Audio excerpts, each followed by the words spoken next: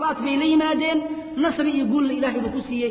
Marka ghaswatu badrin dagaalka ugu horreeya muslimiinta ay nasriga ku heleen ayuu ahaa ay ku soo baxeen weeyaan waxaa kaloo warinayo bukhaari iyo muslimna way warinayaan qisada xaadib ibn abi baltaca.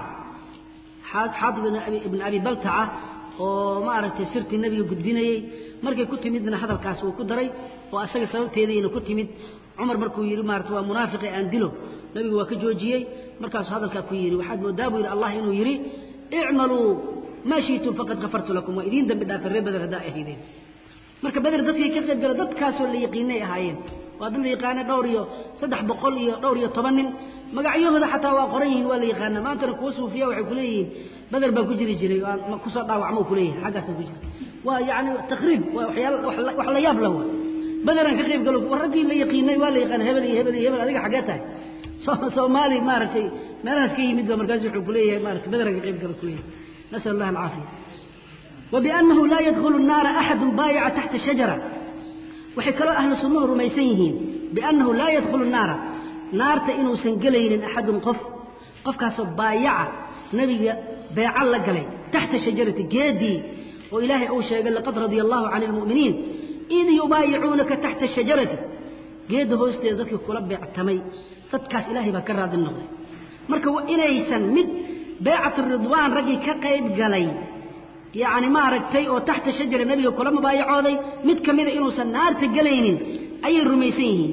Taasna nebigaa sheegay calayhi salaatu wasalaam xadiid imaam muslim iyo saxiixii ku warinayo can jaabirin radi allahu canhu ayuu nabigeena leeyahay laa yadkhulu naara axadun qof ma galo naarta baayaca taxta shajara nebiga calayhi salaatu wasalaam shajaradaas hoosteeda kula beectamay naarta ma gelayo ayuu nebiga leeyahay bal waxaa tusinaayo aayadda hadda akrinaynay laqad radia allahu buu ilaahay leeyahay can ilmu'miniina id yubaayicuunaka taxta shajara ridaha ilaahay bayba heleen ilahay baa ka raadi noqday marka dadkaasna ma galaan waana dad tiradooda la yaqaano oo macruufa ah sida shiikuba uu noo keeni doono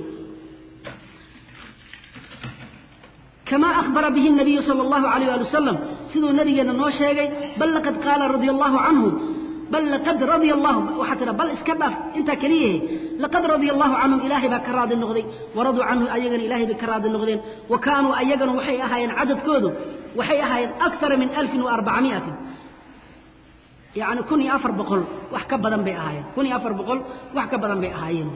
Yani cadadkooda kun iyo afar boqol iyo waxun la jiro ayay ahaayeen. Taasna ahlu sunnuhu way rumaysan yihiin. Dadkii nabigeenna beecada taxta shajara kula galay. Mid ka mida inuusan naarta gelaynin maxaa yeele rasuulka ka markhaati kacay oo noo sheegay calayhi salaatu wasalaam. Wayashhaduuna waxay qiraan dadka ahlu sunnaha la yidhaahdaa waxay uga markhaati kacaan de wayashhaduuna waxay uga markhaati kacaan. Biljannati jannada waxay uga markhaati kacaan. Liman shahida lahu rasuulu llahi sala allahu alayh ali wasalam dadkii nabiga uu jannada uga markhaati kacay inay gelayaan oo nebigu sheegay ahlu sunnuhuna way rumaysan yihiin ayagan inay gelayaan bay uga markhaati kacayaan marka ciddii ilaahay yani rasuulkiisa uu sheegay inuu min ahli yahay ayaan odhanaynaa waa ahluljanna qof uusan rasuulka sheegin calayhi salaatu wasalaam inuu ahlu janno yahay haddaa adiga ahlu janno ku sheegto waxaa weeye adaa maaragtay mukhaalafaad la timid rasuulka ilahay baad khilaaftay weeyaan. Lama ogola inaad ku tilmaamto qofaan nabiga calayhi salaatu wasalaam uusan ku tilmaamin inaa uga markhaati kacdo haddaad ku markhaati kacdo sidaa tidhaahdana alqawlu cala allah buu noqonaya. Yacni waa iftiraa ilahay aad been ku sheegtay aad ku been abuuratay ayuu noqon weeyaan. Marka yacni dadkaas wuxuu leeyahay oo uga markhaati kaca kalcasharati tobankii oo kale. Alcasharatu almubashara mubashariina biljanna la yidhaha tobanka jannada loogu bishaareeyey yacni maaragtay waxa weeyaan uu nabigu yidhi fulaanu yani maarata fi ljanna wa fulaanu fi ljanna fulaanu fi ljanna uu yidhi waxaa ka mid a abu bakr cumar cuثmaan cali oo arbacatu khulafaa raashidiin la yidhaahdo afartaas waxaa kaloo ka mid a cabdiraxmaan ibni cawf zubayr ibn alcawaam sacd ibn abi waqaas saciid ibnu zayd abu cubayda camr ibn jaraax طalxat ibn cubaydillah tobankaas ayaa la yidhaahdaa alcasharaة اlmubashara biاljanna dadkaa tobanka loogu bishaareeyey jannada ayaa ka mid ah wuxuu ku daray shiikha wa haabit ibni qays ibni shamaas haabit ibni qays ibni shamaasna isagana waa ka mid maxaa yeeley nabiga ugu bishaareeyey inahu min ahli اljanna buu yihi markii aayaddan laa tarfacuu aswaatakum fawqa sawti nabiyi ay soo degtay ayuu yani maarata nabigan sawdka kor ugu qaadi jiray buu yidhi. Markaasuu gurigiisa galay ahlunaarkaana ka mid ah uu yidhi. Markaasaa nebigu wuxuu yidhi maya wa ahlujanna bal inahu min ahli اljanna ahlujanna uu ka mid yahay nabiga uga markhaati kacay weya yani wuxuu le wahaabit ibni qaysin wagayrihi min asaxaabati maahan intaan keliya. Kuwo kaleo ka soo haray sida cabdullahi bni salaam oo kaleeto cabdullahi bni salaam oo mumina ah, ahli kitaabka ahaa yahuudda ka soo islaamay. Yani maarata saxaabigii kaleeto oo nebiga markuu sheegay yani toddobaatan kun oo maarata ummaddiisa ah ayaa jannada gelayso bikayri xisaabin walaa cadaab. U marka weydiistay oo yidhi yaa rasuula allahi udcu llaha an yajcalanii minhum. Oo yidhi anta minhum. Magaciisana la yidhahdo cukaashata bnu mixsan. La yidhaahdo kuwaasoo dhan baa ka mid a wixii nabiga uga markhaati kacay waa uga markhaati kacayna ahlu sunnuhu waa uga markhaati kacayaan weyaan wuxuu kaloo dana shiiku noo sheegay faqro kale wuxuu yidhi wayuqiruuna ahlu sunna waxay qirayaan bima tawaatara bihi naqlu yacni soo rarist axaadiistii waxay mutawaatir noqotay oo laga soo guuriyo can amiiri lmu'miniina mu'miniinta amiirkoodii caliy bni abi aalibin radia allahu canhu cali bni abi aalib wa amiiru lmu'miniina wixii yani maaragta looga soo wariyey calaa xaddi tawaatur looga soo guuriyey yani maaragta looga soo naqliyey ayay rumaynayaan iyo wagayrihi cali bn abi aalib saxaabo aan ahaynba laga wariyey. Maxay ahayd wuxuu cali wariyey waa maxay? Min ana khayra hadihi اlumma ummaddan kan ugu khayr ka badani bacda nabiyiha nabi nabiyullaahi moxamed markii laga reebo inuu yahay abu abubakr sidiiq inuu ugu khayr badan yahay. Abubakr sidiiq ayaa ugu khayr badan. Uma cumaru cumar ibn khataab baa ku xigo radia allahu canhu labadaas inay yihiin bu cali xadiidkaas ayuu wariyey.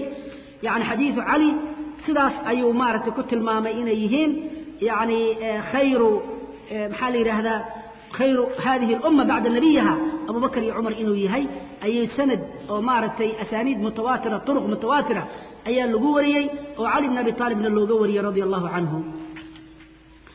Wuxuu leeyahay marka wayuhallisuuna ahlu sunnahu marka waxay ku saddexeeyaan abu iyo cumar. Abu la hormariyey khayrka oo fadli badan. Cumara ku xigo.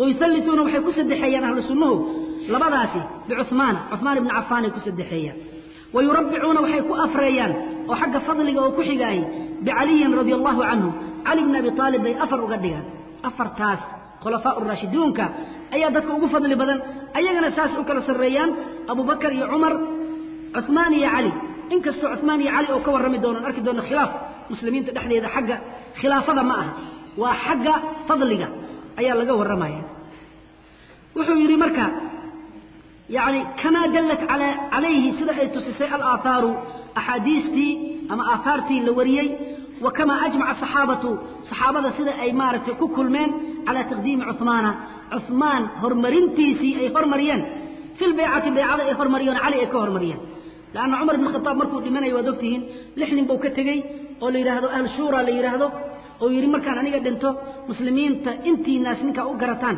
u magacaaba lixdoodii marka waxay sameeyeen yani markay dadkii la shireen oo mid walba ay arkeen oo saxaabadii ay dhex mareen kulli waxay arkeen inuu yani dadka hormarinayaan cumaan inay hormarinayaan oo cali ka hormarinayaan.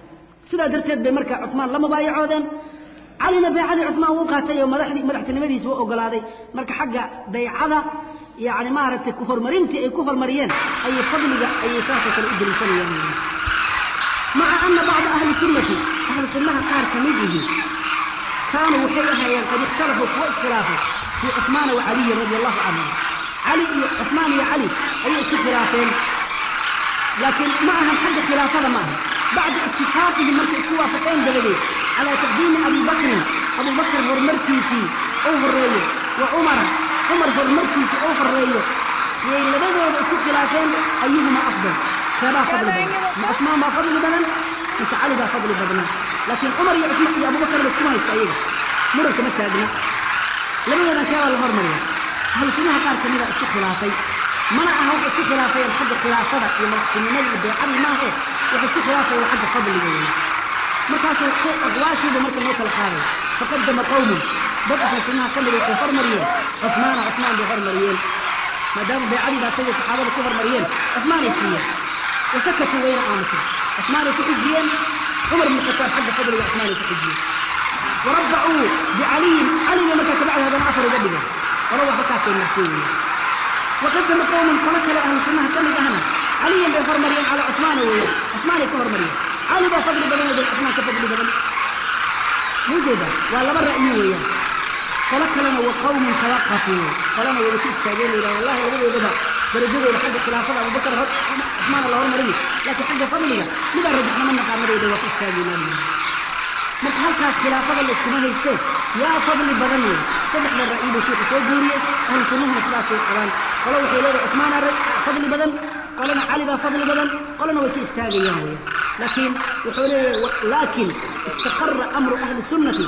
Ahlu sunnaha amarkeedu wuxuu ku sugnaaday calaa taqdiimi cusmaana yani cusmaan horumarkeedii la hormariyo horumarintiisii la hormariyo calaa caliyin laga hormariyo ayay ku sugnaatay buu leeyahay yacni cali in cusmaan cusmaan la hormariyo cali la dibdhigo ayay amarka uu ku sugnaaday sidaas ayay dadka ahlu sunnaha warkooda ku dhammaaday buu leeyahay xukmu taqdiimi caliyin radi allahu canhu calaa gayrihi min alkhulafaa'i alarbacati fi lkhilaafa halkan mas'ale uu ku radinayo يعني ما أعرف الشيخ رحمه الله يعني بس أهل بدع أو كل ديني أي ماشي ما يجيش يجي حي هرمرين كده هرمرتي في الهرمرية على غير ذات الشك وحرم خلاصة الأربعة من الخلفاء الأربعة يعني كاملة خلاصة أسأل أشكالها إلا يراها أسير الرافضة اللي مثل يراها في عضع أي كل ديني وإن كانت هذه المسألة هذه المسألة مسألة هبدأ عن صوشي مسألة عثماني علي حق فضلها ليست من الأصول. usuushi ka mid ma aha usuusha ka mid ma yaa labadooda fadli badan. Usuusha allati usuushii yudallalu lmukhaalifu qofka khilaafo usuushaasi la baadiyeeyo. Fiiha usuusha dhexdeeda lagu baadiyeynayo hadduu khilaafo. Aysan ka mid ahayn cinda jumhuuri ahli sunna ilaa cali iyo asmaa yaa fadli badan. Hadduu qof yidhahdo asmaa cali baa fadli badan. Waa ahlu dalaal lama odhanayo hadduu cusmaana fadl badan yidhahdana ahlu bala lama odhan karo maxaa yeele masalada masale tafdiil oo maaragtay usuushii dadka qofka khilaafaa oo baa ahlu maaragtay ahlu balaalka noqonayay ka mid ma ahay. Laakiinse wuxuu yidhi meesha maxalshaydkiisu tahay. Allatii yubayalu fiiha yani midda lagu baalinimo xukmiyo waxa weeye mas'alat alkhilaaf qofka khilaafaa khilaafadaas oo madaxtinimadii ah. Haddii cali ou saddexda imaam oo abubakar iyo cumar iyo iyo cusmaan cali baa kaga mudnaa kaga xaqnimo badnaa isagaa kaga horreeyey. Hadduu qofku yidhaahda ahlu dalaalku gelaya maxaa yeele muslimiintii waxay ku ijmaaceen ayuu ka hor yimi muslimiinta abubakar bay kow dadku u dooreen. Abubakar cusmaan buu cumar u magacaabay muslimiintao dhan waa ogolaadeen. Cusmaan daacadiisii markii la raadiyey xataa cali bin abi taalib baa ogolaaday. Saddexdooda xagga khilaafadii madaxtinimada uu kaga horreeyey marka waxa qofka haduu khilaafa lagu baadiyeenayo mas'alatu khilaafa wadaalika arrinkaasna waxa weeye li'annahum ahlu sunnuhu yu'minuuna waxay rumaysan yihiin ana alkhilaafata ana alkhaliifata khaliifka bacda rasuuli illahi sala allahu calayh waali wasalam ummadda muslimiinta khaliifka iyo madaxda u noqday nebiga gadaashiisa inuu ahaa abu bakrin abu bakra u horreeyey. Uma cumaru cumaraa ku xigay uma cuhmaanu cuhmaanaa ku xigay uma caliyun ahlu sunnaha saasay aaminsan xagga khilaafada saas u kala horreeya waa khaliifnimada iyo madaxtinimada marka la yidhaahdo. Waman tacana qofka dura fii khilaafati axadin mid oo intaas ka mida min haaulaa'i afarta aan soo sheegnay khilaafadooda qofka duro oo yidhahdo waxba kama jiro. Sida ay raafidadaba cumar iyo abubakar bayba qabsanaya cusmaan ay lacnadayaan. Oy leeyihiin yani cali baa iska lahaaye xoog bay ku qaateen oo way dhaceen. Khilaafada maaragtay cali baa iska lahaa abubakar iyo way qabteen. Markaasi waxay u yaqaanaan sanamay quraysh inay dhahaan cumar iyo abubakar ay manaabirta ka lacnadaan يعني maaragtay ay ku caayaan weeyaan marka qofka duro afartaas khaliif khilaafadoodii madaxtinimadoodii duraay fa huwa adallu min ximaari ahlihi dameerka cidda u joogo yani maaragtay waa ka baadinimo badan yahay qofka dhumid badan weeyaan yani tacbiirkan uu sheekhu isticmaal sheekh islaam ibn taymiya fa huwa adallu min ximaari ahlihi waxaa la yidhahdaa waa tacbiirka uu isticmaali jiray imaam axmed ibn xambal raximahullah ayaa isticmaali jiray maxaa yeelay dameerka wuxuu usoo qabsaday waxaa la midka ugu baliidsan oo ugu damiinsan waxay waa waxaa la yidhaha waa dameerka wey dameerka waa waxa damiinadoo ku jira. Kuwa ugu damiinsan oo ka mid yahay wey marka waa baliid weeyaan saas oo kale waa dad aan waxba fahmaynin ebra ah. xayawaankaas oo kaleeto ka sii liita weeyaan. Ayuu noqonaya qofka khilaafadooda mid ka mida duro. Yani maaragtay xataa kuwa khawaarijta cali durayo waa ka mid weeye cali khilaafadiisa durayo ayagana waa ka mid waa adal min ximaari ahlihim weeyaan. Hada wabilahi tawfiq wsala allah wasalam ala nabiyina mxamed أهل بيت النبي صلى الله عليه وسلم عند أهل والجماعة أهل بيت رسول الله صلى الله عليه وسلم ويتولون ويتولونهم ويحفظون فيهم وصية رسول الله صلى الله عليه وسلم. حيث قال يوم خدير خم أذكركم الله في أهل بيتي. وقال أيضا للعباس عمه وقد اشتكى إليه أن بعد قريش أن بعد قريش يجفو بني هاشم. فقال والذي نفسي بيده لا يؤمنون حتى يحبوكم لله ولقرابتي. وقال إن الله اصطفى بني إسماعيل واصطفى من بني إسماعيل كنانة واصطفى من بني كنانة قريش قريشا واصطفى من بني قريش بني هاشم واصطفاني من بني هاشم. مكانة أزواج النبي صلى الله عليه وسلم عند أهل السنة والجماعة ويتولون أزواج النبي صلى الله عليه وسلم أمهات المؤمنين ويؤمنون بأنهن أزواجه في, في الآخرة خصوصا خديجة رضي الله عنها أم أكثر, أم أكثر أولاده, أولاده وأول من آمن به وأول من آمن به وعاضده على أمره وكان لها منه المنزلة العالية. والصديقة بنت النبي بنت الصديق رضي الله عنها التي قال فيها النبي صلى الله عليه وسلم فضل عائشة على النساء كفضل الثريد على سائر الطعام.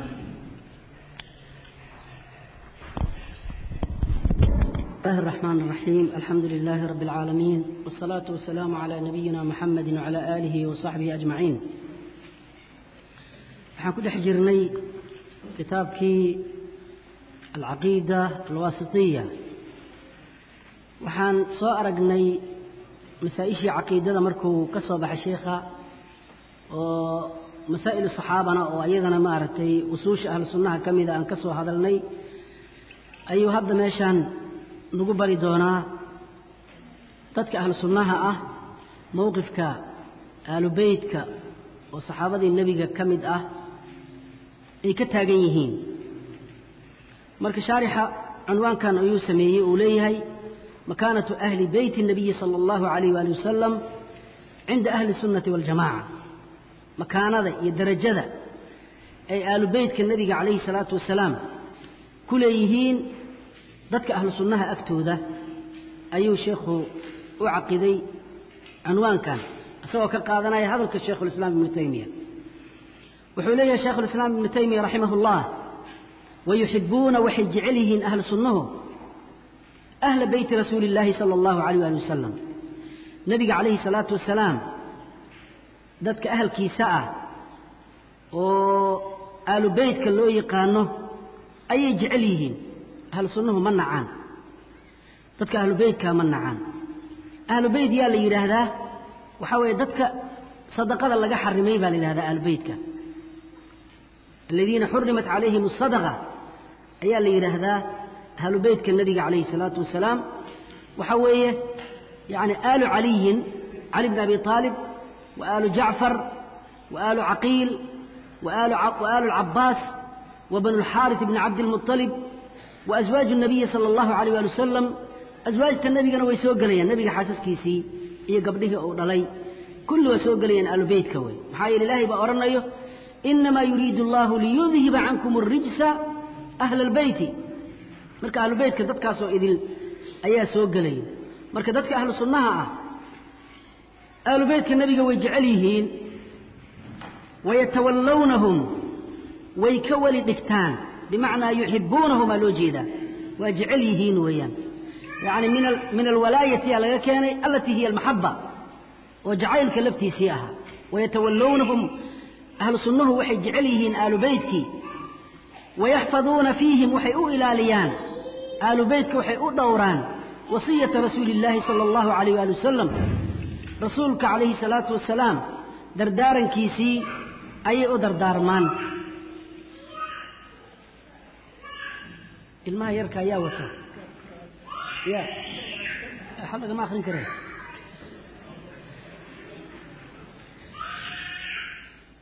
hooyooyinka ilmaha wataa haka adfaguuna fiihim waxay u ilaaliyaan oy dhowraan ahlu sunnaha wasiyata rasuuli illaahi sala allahu alayh ali wasalam nabiga calayhi salaatu wasalaam dardaarankiisii xayu qaala markuu yidhi fii adiiri yani yowma qadiiri khum ama adiir yani maidin xarakaynaya khada xarakaynaya malin iyo xarakaynaya qadiiri kham ow khum ma adri.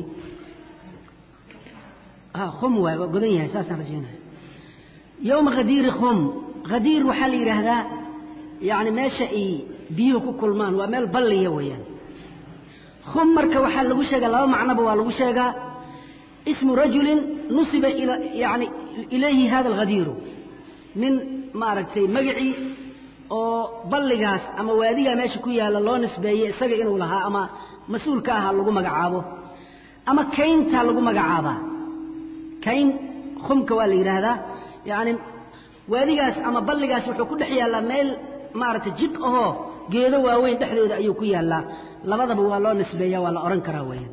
Maalinkaas weliba meeshaasi wuxuu ku yaalla khadiirka markuu nabigeena calayhi salaatu wasalaam xajatul wadaac uu ka soo noqday oo madiino uu socday madiino uu laabanayay ayuu meeshaas markuu dadkii kula kulmay buu u khudbo akhriyay nabiga calayhi salaatu wasalaam markaasuu hadalka wasiyada uu nabiga dardaarmo waxay ahayd udakirakum allaha fii ahli beyti waxaan maaragtay idin xusuusinayaa udakirukum waxaan idin xusuusinayaa allaha ay maa amara allahu.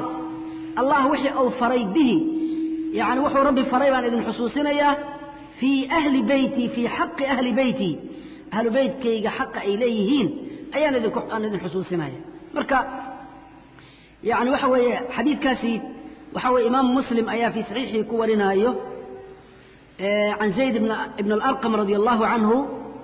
Xadiidkana wuxuu ahaa nabiga markuu xamdigii iyo soo maray buu yidhi ama bacdu ayuha annaasu inamaa ana basharun dadow aniga waxaan ahay bani aadam yuushiku an ya'tiya rasuulu rabbii waxaan u dhowahay inuu ii yimaado malakulmowtkii rabbi rasuulkuu soo diro malakulmowtka inuu ii yimaado faajabtu marka inaan ajiibaan u dhowahay buu yidhi wa innii taarikun fiikum haqalayni laba culculus ayaan idinkaga tegayaa dhexdiinna. Markaasuu yidhi awaluhumaa kitaabu ullaahi fiihi alhudaa waannuur fakhuduu kitaab allahi wastamsikuu bihi. Kan koowaad waa kitaabka ilaahay hanuun iyo nuur baa kitaabka dhexdiisa ku sugan. Kitaabka ilaahay qaata oo ku dhega qabsada. Wa ahla beyti wa ahla beyti kan labaadna wa ahla beyti waa wasiyadii nabiga dardaarankiisii calayhi salaatu wasalaam.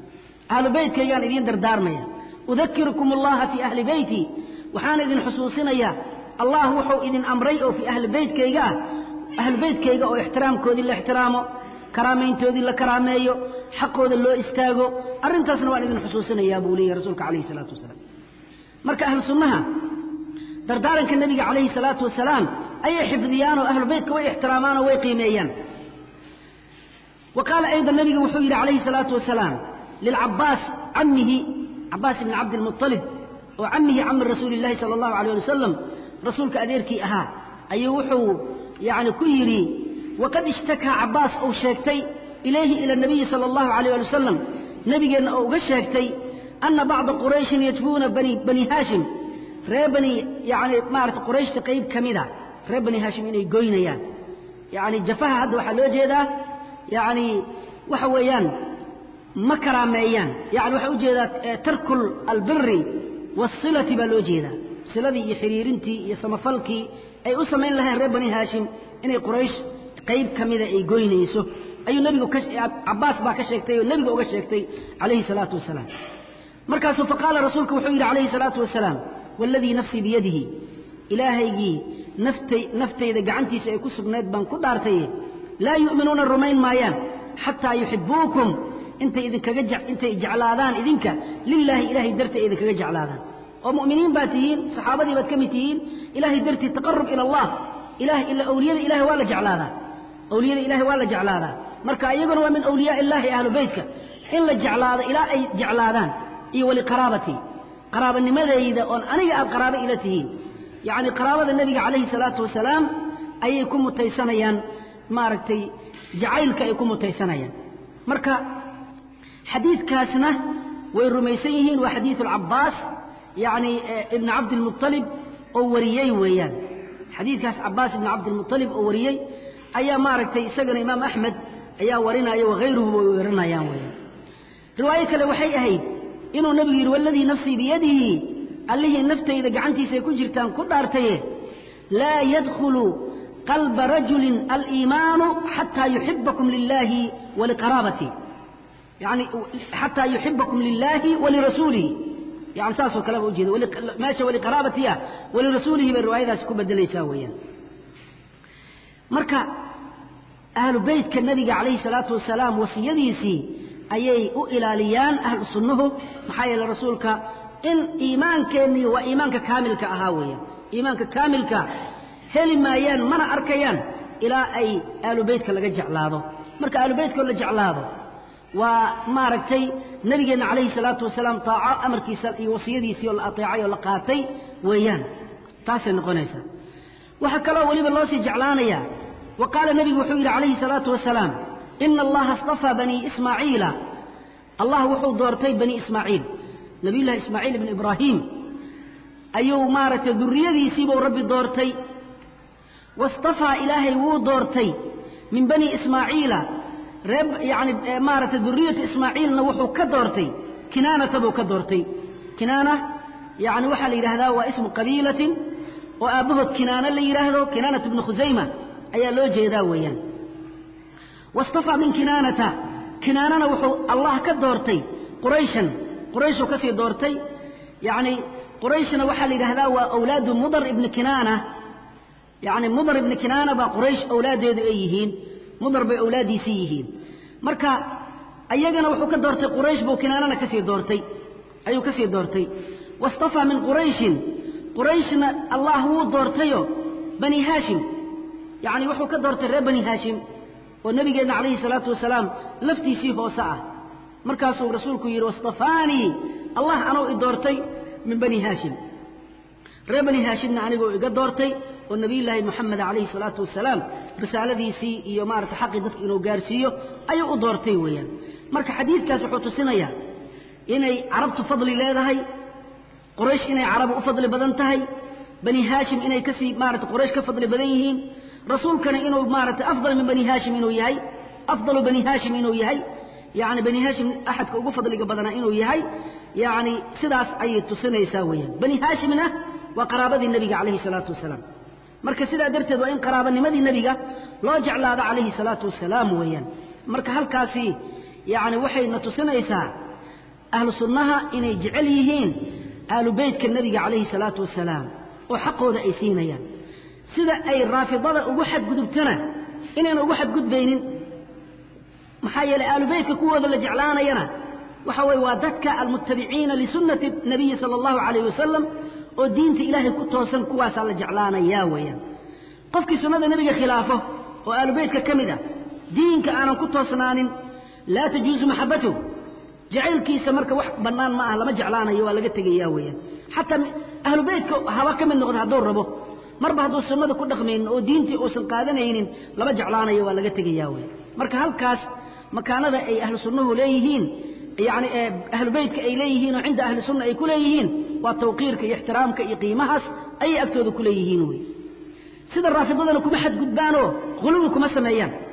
Sidaas maaragtay xaqa ay diinta u sheegta un bay u sugaan. Jacaylkoodoo la jeclaadana raafidnimo laguma noqdo. Maxaa yeelay imaamu shaafici raximah ullahu ayaa waxaa laga wariyaa inay markuu ahlu beytka sidii ahlu u jeclaadeen oo u jeclaaday inay qaar yidhaahdeen shaafici waa raafidi. Raafidadii buu ka mid noqdo aalubeytkii buu maaragtay jeclaaday ilaa gabayadiisa la yidhaahdo uu ka mid ah u yidhaahdo in kaana rafdan xuba aali muxammadin falyashhad istiqalaani anii raafidiyun u yidhaahdo. Yani gabayadiisa ay ka mid tahay. Ya yani aala muxammadinna way dhahaan. Marka haddii uu raafidinimo ay tahay nebi maxamed aalkiisa oo la jeclaado hadday raafidinimo tahay wuxuu yidhi jinnii insi ha ogaadeen anaa raafidii taas raafidii baan ku ahay. Yani taasoo kale weeye. Marka waxaa la rabaa qofku markuu xaq ku taagan yahay oo baatilka ay maaragtay kelimaad iyo alqaab xunxun ay u bixiyaan. Baatilkaas yani maaragtay xaqa uu ku taagan yahay inuu daahirsado uusan cidna uusan uga gabanin maalan hadda qofkii ilaahay subxaana wa tacaala keliya baryo yacni qubuurta iyo amwaadda baryadooda iska daayo ummadda uga digoo yidhaahdo war yaan la baryin waxaa loo bixiyaa? Magaca loosa wahaabi a la yidhahdo wahaabi oo dadka lagu takwiifiye wahaabi. Yani ninkii war qabrigan waxba ma tari karo. Ilaahay baa wax taro qabriga sharadka ka xihanaysaa ma banaana sharad iyo nadar ilaahay baa laga galaa cid kale lagama galo. Qofkaan isagoo noolus waxba ku tari karin. Waa wahaabi haddii lagu yidhahdo waa inaad tidhaahdaa falyashhad ifiqalaani anii wahaabiyun inaad tidhahda lagaa rabaa. Yacni inaad dadku haddayba wahaabinimadu ay tahay tawxiidkoo lagu dhego hadday tahay jinni insi ha ogaadeen wahaabi baan ahay in la yidhaahdo. Waxaa la mida dadka axsaabta xisbiyadooda markaad tirahdo war ka teg war waxaan ka teg oo xisbiga ma bannaano oo tafaraaruqa muslimka ma bannaano markaa la istaagto magacyo alqaabay bixiyaan waxay leeyihiin salafiya jadiida la yidhaahda salafi jadiidnimadu hadday tahay hadday tahay xisbiga oo la ogaadeen saasaa nahay in la yidhahdo marka qofka ahluxaq markuu yahay inuu xaqiisa caddaystaa la rabaa. Wixii baatilna uusan dheg u dhigina la rabaa. Bannaanka ka istaago. Mowqifkaas imaamu shaafici raximahullah inaan uga dayanna baa la rabaa weeyaan. Tabaru'u ahli sunnati waljamacati mima yaquuluhu almubtadicatu fii xaqi saxaabati wa ahli lbeyti yacni ahlu inay beri ka yihiin waxa ay odhanayaan waxbaan ka soo booday waxaan ka soo booday makaanatu aswaaji الnabiy salى اllahu alيه wasalam cinda ahli الsunnati waاljamaca hadda sheekha wuxuu u caqiday tan shaekhulislaam ibnu taymiya ayaa wuxuu ka hadlayaa mar hadduu aalubeytkii nebiga ka soo hadlay aswaajtii nebiga nebiga xaasaskiisii buu ka warramaya marka makaanatu aswaaji الnabiyi salى اllahu alayh wasalam nebiga xaasaskiisa yani maaragtay darajada ay leeyihiin cinda ahli sunnati waljamaca ay ku leeyihiin. Wayatawallowna way jeclaadaan. Dadka ahlu sunnaha ah yatawallowna bimacnaa yuxibuun waa tii hadda aan soo marnay min alwalaa'i baa laga keenay bifatxi lwaaw yani in la bimacnaa almaxaba loo jeedo. Aswaaja nabiyi sala allahu calayh waali wasalam nebiga xaasaskiisa ayay jeclaadaan dadka ahlu sunnaha ah. Ummahaati lmu'miniina ah. Aswaajtaas waa ummahaati lmu'miniin mu'miniinta hooyooyinkood weeyaan ayay jeclaadaan weeyaan. Marka aswaajta nebiga calayhi salaatu wasalaam waa ummahaat lmu'miniin ilahay baa qur'aanka noogu sheegay annabiyu awlaa bilmu'miniina min anfusihim wa aswaajuhu ummahaatuhum. Hooyooyinkeen weeyaan mu'miniinta hooyooyinkood wey laakiin hooyooyinkood waxay ku yihiin xagga ixtiraamka iyo qadarinta sida hooyadaa u qadariso od u ixtiraamto iyo maaragtay sida uusan nikaax kugu qabanaynin. Haweenka nebigana nikaax kuu qaban maayo maxaa yeele ilahay baa qur'aanka ku yidhi wamaa kaana lakum an tu'duu rasuula allah walaa an tankixuu aswaajahu min bacdihi abadan. Haweenka nebiga in la guursadaa ma bannaana nikaax kuu qaban maayo taasoo kale hooyay ku yihiin. Laakiin yacni wixii intaa ka soo haray waxa weeyaan xukm alajnabiyaat bay qabaan. Waa ajnabi oo kale.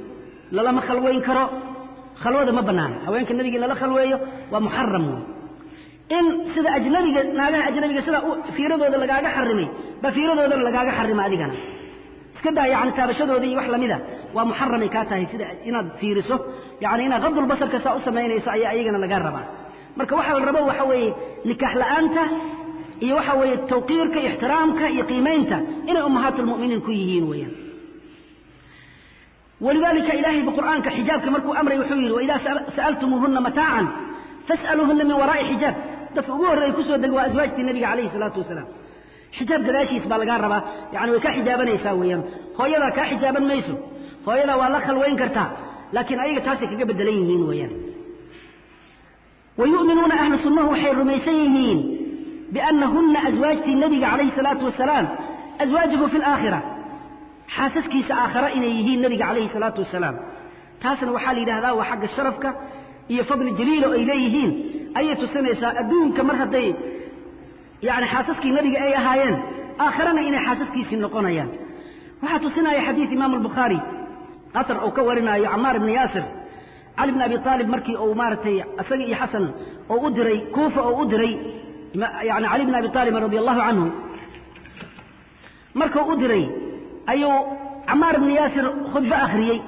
Markaasuu wuxuu ku yidhi inii la aclamu annaha zawjatahu. Yani caaisha u caaisha waa zawjadii nabiga calayhi salaatu wasalaam fi dunya waalaakhira buu yidhi. Riwaayadaas imaam albukhaari fii saxiixi buu ku warinaya wakadalika ibn xibbaan can caaisha wuxuu ka warinaya inuu nebigu ku yidhi calayhi salaatu wasalaam atardiina an takunii zawjatii fi dunya waalaakhira yacni raadi soo kuma tihid soo kuma raadi noqonaysid inaad zawjadeydii noqoto fi dunya waalaakhira yacni maaragtay hadalkaasoo kale uu ku yidhi maaragtay.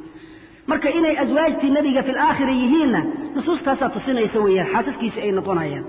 Khusuusan akhusu waan gooni yeeli khusuusan gooni yeelid khadiijata baan gooni yeelaya khadiijata radia allahu canha khadiijo waa xaasaska nebiga xaaska ugu horreeyey wey radia allahu canha umma akari awlaadihi yacni ayada si khaas u soo saaray iyada iyo caaisha gooni u soo saaraya ayagoo la ixtiraamayo haddana masaayaad ay leeyihiin dheeraad ay leeyihiin ayuu la soo saaraya gooni ahaan ugu soo saaray kow midda koobaad waxa weeye waa um umma akari awlaadihi nabiga awlaaddiisa badankood ilaa ibraahim oo maariya alqibtiya ay dhashay mooye inta kale ayadaa dhashay.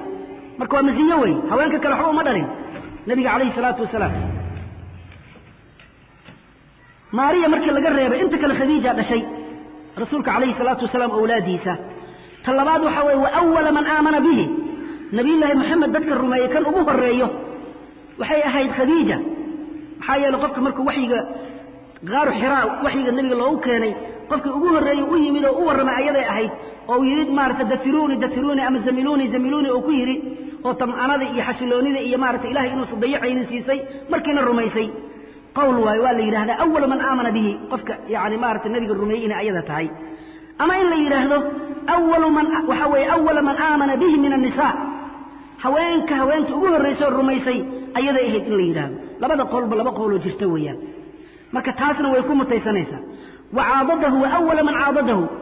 Qofka nebiga xoojiyey calayhi salaatu wasalaam oo u kaalmeeyey fii awali amrihi maxaa yeelay nusrada wakhtiga ugu qiimaha badan waa markuu qofku dhibaataysan yahay oo dhibka haysto qofka u nusreeyo wey dadka ugu horreeyo nebiga u kaalmeeyey ayaa khadiija ka mid ahayd weeyaan. Wa kaana laha waxay lahayd khadiija khadiijo lahayd minhu nebiga xaggiisa almansilata alcaaliya darajo sare ayay maaragtay nabiga agtiisa ka lahayd salawaatu ullahi wasalaamu calayh walidaalika ayuusan nabigeenna halmaami jirin badanaaba dikrigeeda uu sheegi jiray ammaan ammaanteeda uu sheegi jiray markay dhimatay dabadeed ayuusan nabiga ammaani jiray salawaatu ullahi wasalaamu calayhi. Sidaas ayuu ahaa. Tan labaad wasidiiqata wa akhusu sadiiqata weeyaan.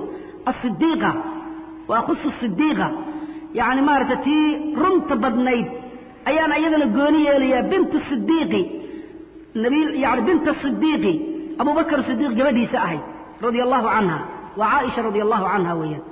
Alatii qaala fiiha anabiyu sala allahu calayh ali wasalam nabigeenna uu yidhi fadlu caaishata cala annisaa'i ka fadli tariidi calaa saa'iri acaam yacni xadiidkaasi waxa weeyaan bukhaari iyo muslimba way warinaayaan wahayrihimaaba way warinaayaan waxaa ka warinaya nabiga abu muusa alashcari radia allahu canhu waxay ahayd xadiidka qayb kalea ka horraysay wuxuu yidhi nabiga kamula min alrijaali kaiirun ragga in badan oo ka mida ayaa kaamil noqoto dhammaystirmatay. Walam yakmul min annisaa'i ilaa maryama binti cimraan binta cimraan. Maryamo oo maaragtay nabiyullaahi ciisa hooyadii ah mooye cid kale kama kaamil noqonin haweenkii. Wa aasiyata wa aasiyata imra'ata fircawn iyo aasiyadii fircawn xaaskiisa ahayd labadaas unbaa haweenka ka kaamil noqday buu yidhi. Markuu intaa sheegay buu yidhi wa fadlu caa'ishata cala annisaa'i. Fadliga caaisho iyo dheeraadsiinta dheeraadka ay leedahay oo cala nisaa'i naagaha kale ay ka dheeraad leedahay fadligeedu iyo darajadeedu ka fadli tariidi raashinka tariidka la yidhaahdo waa alkhubzu wallaxmu baa la yidhahdaa khubzi wallaxm khubziga waxaa la yidhahda waxa kimista wax la cuno waxa maarata wax ugu fiican weeye. Ama bur ha laga sameeyo ama maaragtay wax kale ha laga samaysto. Khubzi baa la yidhahdaa kimista waxa la yidhahdo weeyaan.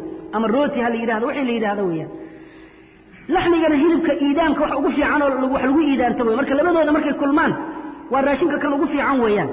Marka waxay la mid tahay caaisho fadligeeda naagaha kale markii loo fiiriyo ka fadli tariidi hilibka iyo khubsiga la isku cuno raashin laga dhigtahay darajada ay leeyihiin calaa saa'ir aطacaami cunada inteeda soo hartay sida uga sarreeyo o kale bay caaishana uga sarraysaa ayuu maarata rasuulku yidhi calayhi salaatu wasalaam.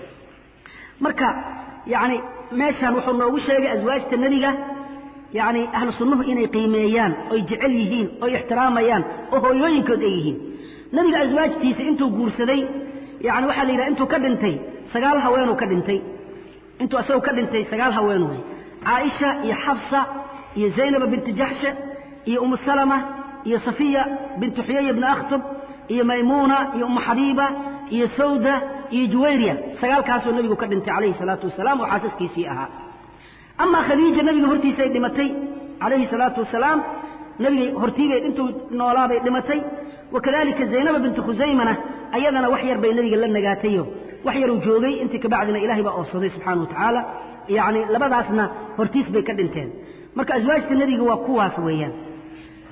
Khadiija marka way u fadli badan tahay asbaabahana shiikhu wuu sheegay carruurtiisa badan ayadaa dhashay qofka ugu horreeyo rumeeyey ahayd kaalmo badanay u soo kaalmaysa nebiga calayhi salaatu wasalaam. Sidaasuu marka nebigu ku jeclaa. Caaishana darajadaas bay lahaydoo fadli aad iyo aad u tiro badan. Ayay laheedoo nebiga xaasaskiisaas.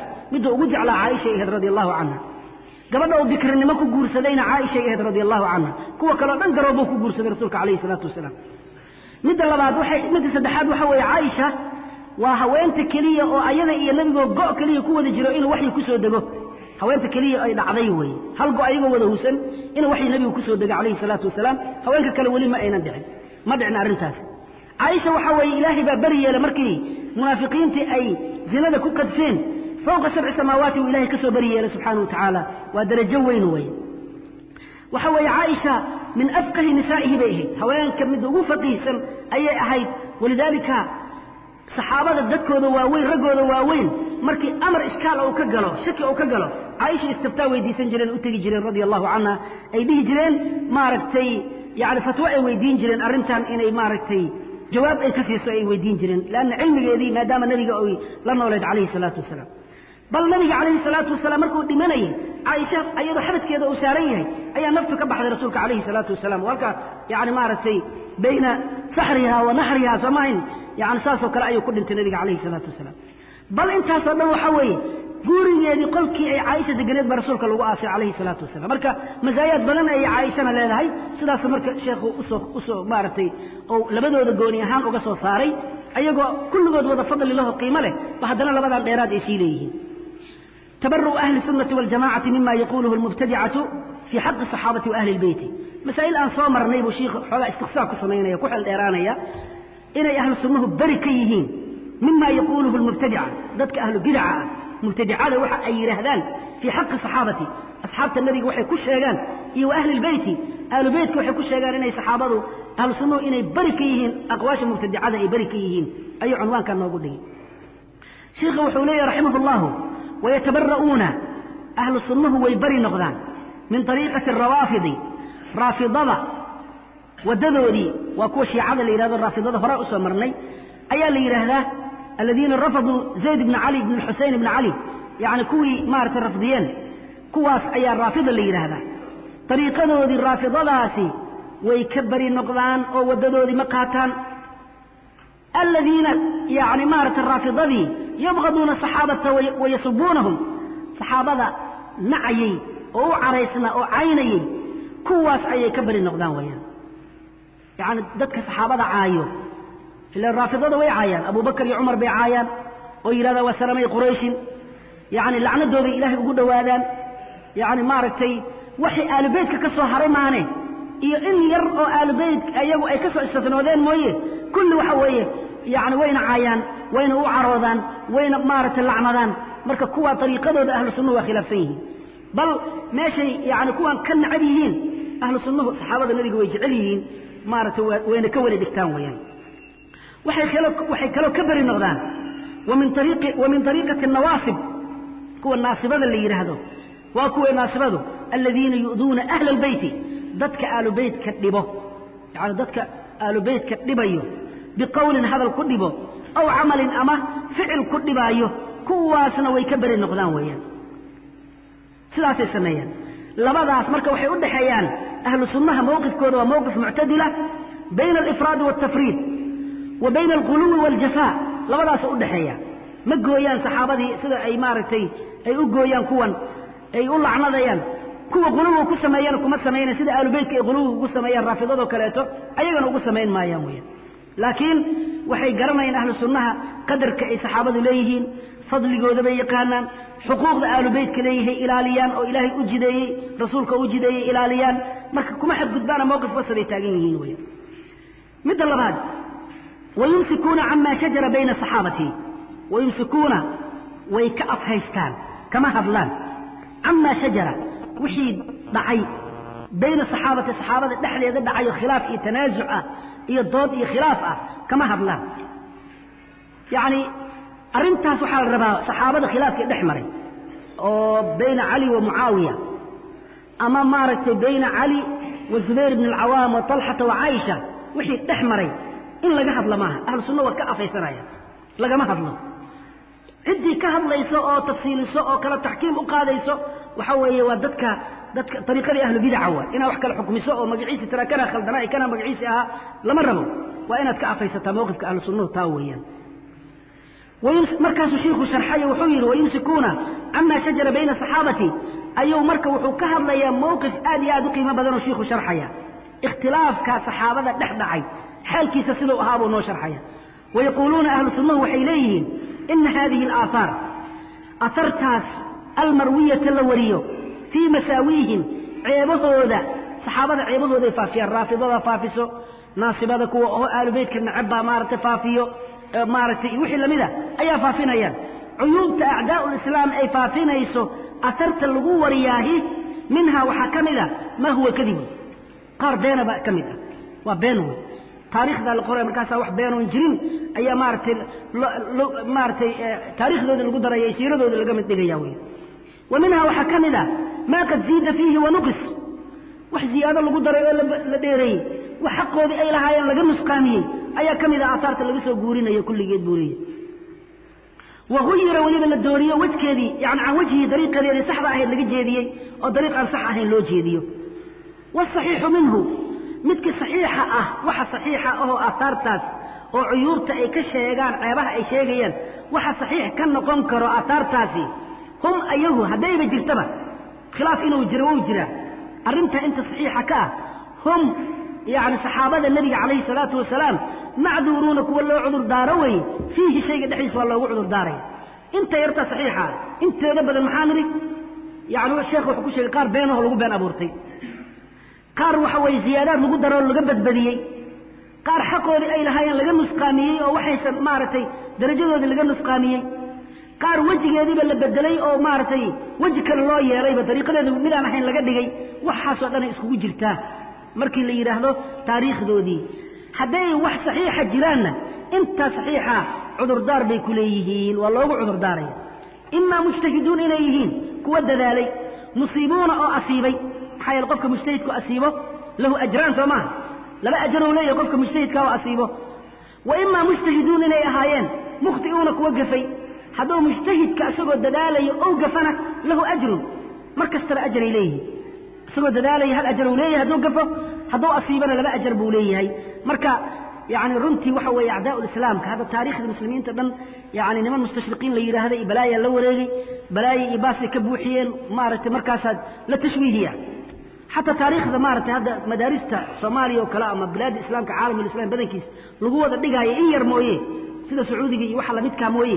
Waxa weye taarikh mushawaha waay taarikh wada bedelan waxay kaaga soo qabanayaan cali mucaawiya markaasaa balaayo iyo baas halkaa maarata lagu gelinaya. Maxaasinta islaamika wanaaggii oo dhan iyo waxay sameeyeen xataa cali iyo mucaawiya khayraadka ay sameeyeen o dhan waa ka tegayaan markaasi waxa xunxun keliya intay u soo qaadaan baa islaamka la necdaysiinaya dadkii iyo maarata laleeyahy waa kuwaas dadkooda ugu horreeyeyba halkaas xaalkooda u ahaa marka shiikha sida u tawjiihiyey raximahullah waa tawjiihi aad u fiican wey qaar waa been. Walidalika markaad kutubta qaar ku noqotaan wax badana arkaysan kitaabka la yidhaahdo alcawaasim min alkhawaasim. Waa abubakr yani maarata abubakr ibn alcarabi uu leeyahay. Kitaab aad u qiimo badan waay xaqiiqadeedu ka hadla si fiican uu dikrinaya. Marka yani inta badan takyiir iyo kadib iyo maarata ziyaade iyo naqsi ayaa ka wada buuxa weeyaan. Intuu sheikhu sheegay weeyaan hadday wax jiraanna intaas waa saxaabadu waa ijtihaadeen. Ijtihaadkoodii wuxuu dhaafin waayey sameeyeen marka waa macduuriin ay ku yihiin. Hadday asiibaanna laba ajaray leeyihiin. Hadday gafaanna hal ajaray ku leeyihiin mar kastaba. Wahum saxaabadii maca dalika arrinkaas ayaduu jiro. Laa yactiqiduuna ma ictiqaadinayaan wahum wahum ahlu dheh ahlu maca dalika arrinkaas ayadoo ou jiro oo saxaabadii ay ma'juuriin mar kastaba yihiin. Laa yactiqiduuna ahlu ma ictiqaadinayaan ana kula waaxidin mid kasta oo min asaxaabati asxaabta nabiga ka mida macsuumun mid la ilaaliyey oo la dhowray can kabaa'ir alismi dembiga kabiirada mid laga dhowray inuu yahay wa sakaa'irihi sakaa'ir alismi dembiga kiisa yaryar in laga ilaaliyey yacni kuwa ictiqaadinaya maaha saxaabada nabiga macsuuma calayhi salaatu wasalaam saxaabada qowlkooda jumlatan waxay ku ijmaacaan waa macsuum waxay ku ijmaacaan macsuum wey ama afraad afraad waxa weye waa kalbashar gafaa ka dhici karo qaar waa zinaysan jireen zinaa ka dhici jirtay qaar sariiqaa ka dhici jirto nabiga gacantooda goyn jiray waad ogtihiin qaar waa la jeedli jiray. Yani maaragtay qaar yani kish iyo maarata waba namiime iyo wax lamida qaar u istaagi jireen. Waxyaalo badan ay samayn jireen oo dunuub waa ka dhici jirtay oo maarata dad macsuumiina maa sida ambiyado kaleeto ma aha. Ahlu sunna marka saasay rumaysan yihiin. Saxaabada fardi fardi markii la yidhaahdo inaysan macsuum ahayne mucarad ay u yihiin inay dunuubta ka dhacdo dembiga inuu ka dhici karo taasay aaminsan yihiin. Waa macsuumiina dembi kama dhaco lama odhanayo sida ambiyadoo kale. Bal tajuusu calayhim waxaa bannaan dushooda addunuubu fi ljumlati duuduub ahaan dembiga waa ka dhici karaa dunuubta way ka dhici karaan weeyaan. Laakiin dunuubtaas ka dhacda lafteeda dunuubtaa ka dhacda laftooda yacni wuxuu sheegayaa wanaag fara badan ay leeyihiin inuu ilaahay ugu dembi dhaafayo subxaana wa tacaala dunuubta lafteedu ka dhacday saxaabada oo fardi fardi uga dhici karto afraaddooda ka dhacdahay wanaag fara badanoo ay leeyihiin inuu rabbi ugu daayo. Wuxuu leey walahum waxay leeyihiin saxaabadii min asawaabiqi yacni horumarkii oo maaragtay islaamka ay u soo hormareen islaamka ay u hormareen. Iyo waalfadaa'ili fadaa'isha iyo khayraadka ay sameeyaan waxay ku leeyihiin maa shaybay maa shay baa u sugnaaday. Yuujibu waajibinayo makfirata maa shay dhaafidii yasduru minhum ayaga ka soo fulayo. In sadara hadduuba xaggooda ka soo baxay. Haddayba wax ka soo baxeen horumarkoodii islaamka ay ku hormareen fadaa'ilkii iyo khayraadka ay samaynayeen camalkii saalixa ayuu rabbi ugu dhaafaya subxaana wa tacaala. Xataa inahum ayagu yukfaru lahum in loo dhaafo. Min asayi'aati xumaanyaalkii dunuubtoodii loo dhaafayo maa laa yukfaru liman bacdahum. Dadka ka dambeeya waxaan loo dhaafin baa ayagii loo dhaafaa buu leeyahy ilahay waa u daynaya waxyaalo badan oo aan dadka ka dambeeyaa loo dhaafaynin. Ayaa ayaga loo daynaya wy waqad sabata biqowli rasuuli illahi sala allahu alayh ali wasalam nebiga hadalkiisina waxaa ku sugnaaday annahum khayru lquruun saxaabada wakhtigooda quruunta yacni ummadda ugu khayrka badan inay yihiin qarniga ugu khayrka badnaa inay yihiin. Khayru lquruun inay yihiin. Yacni hadalkaas ayuu maaragtay sheekhu uu noo sheegaya weya masalan xasanaadka waxaan u khayru lquruunta ay yihiin. Mis waa soo boodi? Ha lianna lahum waxay leeyihiin min alxasanaati xasanaadka xaggooda waxay ku leeyihiin allatii xasanadii xasanaadkii tamxu sayi'aati sayi'aadka tirtiraysay oo maaragtay baabi'inaysay maa shay bay ku leeyihiin laysa liman bacdahum dadka ka dambeeya aanan lahayn maxaa yeele waad ogtihiin xadiidkii xalay aan soo maraynay yani xaatib bin abi baltaca markuu maaragtay sirtii nebiga faafiyey oo ku siraystay uu bixiyey cumarna uu yidhi maaragtay waa munaafiq waan dilayaaye idaaf rasuulka ilaahay uu yidhi aan dilo hadalkii nebiga uu ku yidhi calayhi salaatu wasalaam innahu shahida badran. Ninkan bederow ka qayb galay xaatib ibna abi baltaca wamaa yudriika lacala allaha iطalaca calaa ahli badrin. Maxaa ku ogeysay cumarow? Ilaahay inuu ahlu beder inta taalacday ayaa la arkaa buu yidhi oo yidhi faqaala icmaluu maa shi'tum faqad kafartu lakum. Waxaad doontaan sameeya dunuubtiina waan idiin dhaafay inuu ilaahay yidhi baaba dhici karta buu leeyahy xadiidkaas bukhaari iyo muslim aa warina xadiid abi hurayra. Waataan xalay soo marnay weeyaan. Marka taasoo kale dad badan inaan loo dhaafina la arkaa dadka ayaga ka dambeeyo laakiin saxaabada waa loo daaye weeyaan. Taasoo kale bay leeyihiin waqad habata waxaa sugnaaday. Biqowli rasuuli illahi sala allahu alay wasalam waxaa ku sugnaaday nebiga qowlkiisa annahum khayru lquruun inay yihiin. Yani xadiidkii khayru nnaasi qarnii uma aladiina yaluunahum uma aladiina yaluunahum imaam albukhaari wa muslim wagayruba ay warinaayo. Xadiidu cimraan ibni xusein iyo abu maarata cabdullahi bni mascuud ay nebiga ka warinaayo wagayrihima wa ana almudda min axadihim midkood mudkiis madaalkiisa ou sadaqaysto idaa tasadaqa bihi hadduu mudka sadaqaystaay kaana inuu ahaanayo afdala min jabali uxud mudkaas inuu ka fadli badan yahay min jabali uxudin buurta uxud la yidhahdo oo dahaban ah dahab ah. Miman bacdahum dadka ka dambeeya ay sadaqaysteen. Ayadana waa tan xadiidkii xala soo marnay. Yani uu nebigu ku dhaaranayo yidhi fawalladii nafsii biyadihi low anfaqa axadukum midla uxudin dahaba maa balaga mudda axadihim walaa nasiifahu. Yani xadiid abi saciid wuxuu weeye mudka ay sadaqaystaan saxaabada ridwaan ullahi calayhim. Mudka dadka ka dambeeya ay sadaqaystaan yani mudka waa madaalka yarka suusku afar meel loo qaybiyey meeshii wey markay sadaqaystaan dadkii ka dambeeyey bacda bacda sulxi lxudaybiya hadday sadaqaystaan mila uxudin mila uxudin dahaban buurta uxud la yidhahdo dahaba hadday sadaqaystaan mudkaas nuskiis ma gaaraan. Yani maaragtay mudkaas oo kale ama nuskiisa midna ma gaari karaan weya kooda ajri badan iyo hawaab badan wey xalana ka hadalnay weya uma intaa kadib idaa kaana hadduu ahaado qad sadara mid ka soo fulay min axadihim saxaabada mid kamida dembun dembi ou ka dhacay. Dembi baa ka dhacay. Fayakuunu ou ahaado marka qad taaba midhu mid ka toobo keenay. Yani ou noqdo ow amase ataa bixasanaatin hadduu ou la yimid xasanaat yani fayakuunu wuxuu ahaanaya qad taaba minhu mid ka toobo keeno buu noqonaya haddii wax ka soo fulaan. Ow amase ataa bixasanaatin buu la imaana xasanaat oo tamxuuhu sayi'aadkiisii tirtirayso. Aw yani gufira lahu waa loo dhaafaa ilaahay baa u dhaafayo bifadli saabiqatihi islaamnimadii iyo diintii uu ku soo hormaray oo bishafaacati muxamedin sala allahu calayh ali wasalam nabiyullaahi moxamed shafaacadiisii alladii nabiyullaahi moxamed hum ayaguba ay ahaayeen axaqu nnaasi dadka kan ugu mudnaashaha badan bishafaacatihi nabiga shafaacadiisa dadka ugu mudnaashaha badan ay ahaayeen yacni sidaas bay noqonayaan wy aw amase ubtuliya ama in la imtixaano waaba la ibtalaynaya adduunkii bibalaa'in baa fi dunya lagu ibtalaynaya dembi buu sameeyey adduunyadaa lagu imtixaanayaayo dunuub masaa'ib iyo dhibaa la kulmaayo markaasu waxa weeye taas ayaa kufira bihi loogu dembi dhaafaa oo dunuubtiisa loogu asturaa yacni bisababihi ayaa canhu dunuubta xaggeeda looga dhaafaa weeyaan. Kaa sababtiisa oo ibtilaha sababtiisa ayaa dunuubtiisa loogu daynaya weeyaan.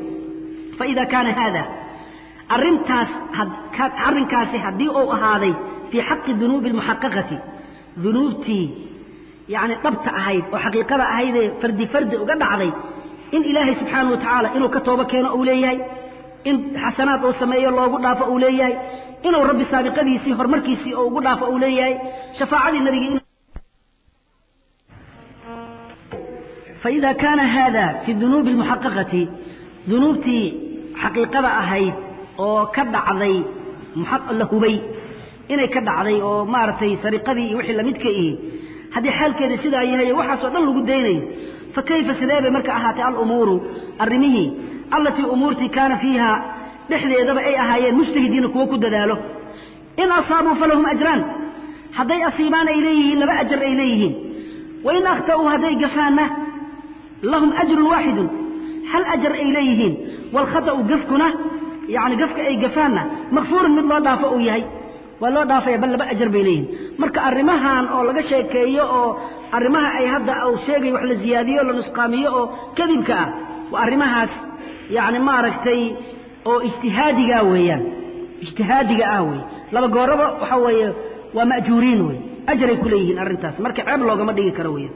Uma intaa ka bacdi buu yidhi alqadru qadarkii alladii qadarkii yunkaru min ficlihim yunkaru la inkiro min ficlihim ficilkooda ka mid a inta yacni afcaashoodii waxay sameeyeen ka mida qadarka lagu inkiraayo oo lagu diidi karaayo qaliilun nasrun maghmuurun fii janbi fadaa'ili alqawmi wa maxaasinihim qaliilun waa yaryahay nasrun aad buu u sii yaryahay maghmuurun mid la daboolay weeye waa la daboola maghmuur riwaayo kale wuxuu dhigaya makfuur bay qaarka qaar u qoraya soo ma makfuur mu idin qoray mise maghmuur idin qoraya maqmuur riwaayo kale yani nuso kale waxaa arka makfuur qorayso laakiin waa maqmuur haddii la yidhahdo okay waa fiican tahay yacni muqataa wey mid la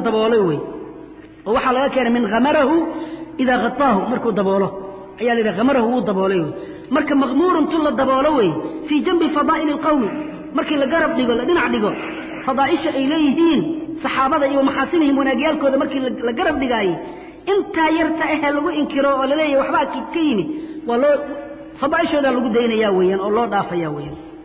Wa min aliimaani biاllaahi alla yani maaragtay yani kaa horay la socotaan fii janbi fadaa'ili alqowmi wa maxaasinihim fadliga ay leeyihiin iyo wanaagyaalka ay saxaabadu leeyihiin. Taasoo min aliimaani biاllaahi ka mid a.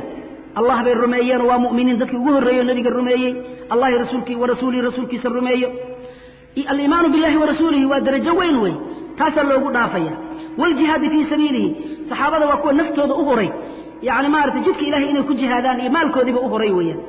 Waalhijra inay bilaadoodii iyo ahalkoodii inta ka soo hijroodaan diinta ilahay inay u gargaaraan keliya u soo hijrooday waalnusra diinta ilahay gargaarkeeda ay u gargaarayeen ayaa loogu dhaafayaa wey waalcilmi naafic cilmiga naafica ahoo ayaguna ay barteen oo nebiga ka soo guuriyeen ummaddana ay ku nashriyeen ayay ku helayaan iyo walcamal asaalixi wanaagga camalka saalixa ah oo wanaagsan oo ay sameeyeen waxaasaa loogu dhaafayaa buu leeyay intaas oo idil dadka haystaa allah subxaana wa tacaala dunuubtooda wuu u daynayaa. Waxaan yarkaa qadarkaa yarkaa iyaa loogu dhaafayaa weeyaan waman nadara qofkii fiiriyo fii siirati alqowmi dadka taariikhdooda siiradoodii dhaqankoodii. Siirat lqowm waxaa loo jeedaa dhaqanka ay lahaayeen ay ku dhaqmi jireen qofkii fiiriyaahi bicilmin cilmi ku fiiriyo o aanan caatifo ahayn. Cilmi ku fiirinaya. Wa basiiratin yacni maaragtay cilmi naafida oo basiiro oo wax uu hubo xaqiiqo ah oo hubo uu ku fiiriyo. Iyo wamaa mana allahu ilaahay wuxuu ku galladaystay calayhim dushooda uu ku galladaystay bihi maagaba min alfadaa'ili fadli ah wuxuu rabbi ku galladaystay oo fadlioo rabbi siiyey. Dadka arrinkaasi fiiriyo oo yacni maaragtay bicilmin wa basiiratin ku fiiriya calima qofkaas wuxuu ogaanaya yaqiinan si dhaba wuxuu ogaanaya annahum saxaabadii khayru lkhalqi khalqiga ilahay dadka ugu khayrka badan inay yihiin bacda alambiyaai nebiyaasha gadaashooda ayagaa ugu khayr badan. Yani xataa waxaa la yidhahdaa atbaacdii nabiyullaahi muusa yani nabiyullaahi muusa asxaabtiisii asxaabu muxamedaa ka khayr badan. Nabiyullaahi ciisa xawaariyiintoodii ka khayr badan maxaa yeele ilaahay baa odhanaya kuntum khayra ummatin ukhrijat linnaas marka khayriyadaasay haystaan marka dadka waa bacda alambiyaai cid ka khayr badani ma jirto weeyaan ayagaa ugu khayr badan wey laa kaana horay uma ahaanin walaa yakuunu gadaal dambena uma ahaan doono milahum ayagoo kaleeto